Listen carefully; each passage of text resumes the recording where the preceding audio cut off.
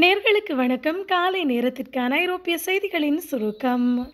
பிரித்தானியாவில் தீவிரமடையும் நோய் தொற்று. பதினைந்து குழந்தைகள் பலி. பிரித்தானியாவில் ஸ்டெப் ஏ நோயால் உயிரிழந்த குழந்தைகளின் எண்ணிக்கை பதினைந்தாக உயர்ந்துள்ளதாக பிரித்தானிய சுகாதார பாதுகாப்பு நிறுவனம் தெரிவித்துள்ளது. நான்கு அல்லது ஐந்து நாட்களாக காய்ச்சல் விடாமல் நீடித்தால் அல்லது வேகமாக மூச்சு வாங்கினால் உடனடியாக உரிய மருத்துவ சிகிச்சையினை முன்னெடுக்க வேண்டும் எனவும் அறிவுறுத்தப்பட்டுள்ளது. பெருந்தொகை ரஷ்ய ராணுவத்தினர் கொல்லப்பட்டதாக உக்ரைன் அறிவிப்பு. உக்ரைன் மீதான ரஷ்யாவின் போர் நடவடிக்கையில் இதுவரை தொன்னூற்று மூவாயிரத்துக்கும் அதிகமான ரஷ்ய வீரர்கள் உயிரிழந்திருப்பதாக உக்ரைனிய ராணுவத்தினர் தெரிவித்துள்ளனர். ரஷ்யாவின் படையெடுப்பு தொடங்கியதிலிருந்து உக்ரைனில் இதுவரை தொன்னூற்று மூவாயிரம் ரஷ்ய வீரர்கள் கொலை செய்யப்பட்டிருப்பதாகவும் உக்ரைன் ஆயுதப்படைகளின் பொது ஊழியர்கள் தெரிவித்துள்ளனர். மேலும் உக்ரைனின் எரிசக்தி உட்கட்டமைப்பை தாக்க பயன்படுத்தப்பட்ட இரண்டு ட்ரோன்களும் வெளுத்தப்பட்டுள்ளது என்றும் உக்ரைன் தகவல் தெரிவித்துள்ளது. ஏலத்துக்கு வரும் பிரான்ஸ் ராணிக்கு சொந்தமான இசைக்கருவி. பிரான்ஸ் ராணிக்கு சொந்தமான அரிய கிட்டார் ஏலத்தில் விற்பனைக்கு வந்துள்ளது. ராணி மேரி ஆண்டனேட்டுக்கு சொந்தமான அரிய கிட்டார் ஏலத்தில் எண்பத்து நான்காயிரம் டாலருக்கு கிடைக்கும் என்றும் எதிர்பார்க்கப்படுகிறது. சிறந்த கடவுச்சீட்டுகளின் பட்டியல் வெளியானது.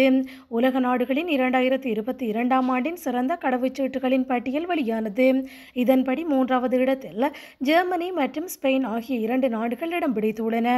அவற்றின் கடவுச்சீட்டின் மூலம் நூற்று தொண்ணூறு நாடுகளுக்கு விசா இல்லாமல் பயணம் செய்யலாம் என்றும் அறிவிக்கப்பட்டுள்ளது. நான்காவது இடத்தில் பின்லாந்து இத்தாலி மற்றும் லக்சம்பர்க் ஆகிய மூன்று நாடுகளும் ஐந்தாவது இடத்தில் ஆஸ்திரியா டென்மார்க் நெதர்லாந்து மற்றும் ஸ்வீடன் ஆகிய நான்கு நாடுகளும் இடம் பிடித்துள்ளது. ரஷ்யாவின் அச்சுறுத்தல் தொடர்பில் ஜெர்மனியின் அதிரடி அறிவிப்பு. ரஷ்யாவினால் தமக்கு அணுவாயுத அச்சுறுத்தல் இல்லை என்று ஜெர்மன் சான்சலரான ஓலாஃப் ஸ்கோல்ஸ் தெரிவித்துள்ளார். சர்வதேச அழுத்தம் காரணமாக மாஸ்கோ உக்ரைன் போரில் அணு ஆயுதங்கள் பயன்படுத்தும் அபாயம் குறைந்துள்ளது என்றும் அணு ஆயுதம் பயன்படுத்துவதாக மிரட்டுவதை ரஷ்யா நிறுத்தியுள்ளது என்றும் கூறியுள்ளார்.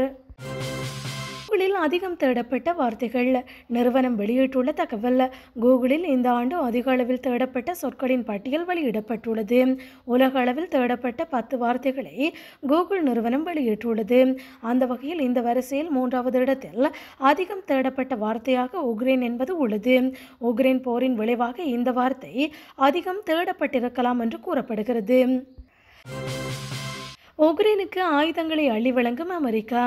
உக்ரைனுக்கு மேலும் இருநூற்று எழுபத்தைந்து மில்லியன் டாலர்கள் இராணுவ உதவியினை அமெரிக்கா அனுப்பியுள்ளது. ஏவுகணை ஆயுதங்கள் உள்ளிட்ட பல ஆயுதங்கள் ராணுவ ஆயுத உதவியின் கீழ் உக்ரைனுக்கு வழங்கப்படுகிறது. ரஷ்யாவுக்கு எதிரான போரில் உக்ரைனுக்கு உதவியாக இதுவரை பத்தொன்பது தசம் மூன்று பில்லியன் டாலர் மதிப்பிலான அதிகமான ராணுவ உதவியினை அமெரிக்கா வழங்கியுள்ளமை குறிப்பிடத்தக்கது. இருளில் மூழ்கிய பிரான்ஸ் பிரான்ஸ் தலைநகர் பாரிஸின் பல பகுதிகளில் திடீரென மின்தடை ஏற்பட்டுள்ளது. இதன் காரணமாக லட்சக்கணக்கான மக்கள் குளிரில் உறைந்துள்ளதுடன் ஒரு லட்சத்து இருபத்தையாயிரம் வீடுகள் மின்சார தடையினை சந்தித்துள்ளது. பிரான்சில் மின்சார உற்பத்தி குறைவடைந்துள்ளதை அடுத்து மின்தடை ஏற்படும் அபாயம் எழுந்துள்ளதாக அறிவிக்கப்பட்டுள்ள நிலையில் நேற்றைய தினம் இந்த சம்பவம் மக்களிடையே மேலும் அச்சத்தை ஏற்படுத்தியுள்ளது. பிரான்சில் முகக்கவச கட்டுப்பாட்டை அமல்படுத்துமாறு கோரிக்கை.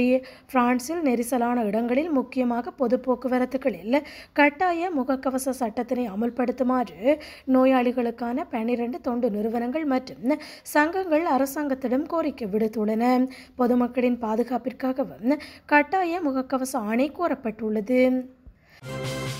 சுவிட்சர்லாந்தின் புதிய அதிபர் தேர்வு. சுவிட்சர்லாந்தின் புதிய அதிபர் தேர்ந்தெடுக்கப்பட்டுள்ளார்.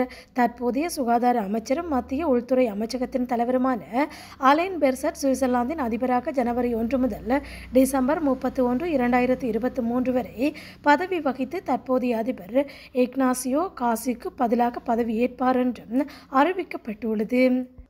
இத்துடன் காலை நேரத்துக்கான செய்திகள் நிறைவுக்கு வருகிறது. மீண்டும் மதிய நேர செய்திகளோடு இணைந்து கொள்ளுங்கள். நன்றி வணக்கம்.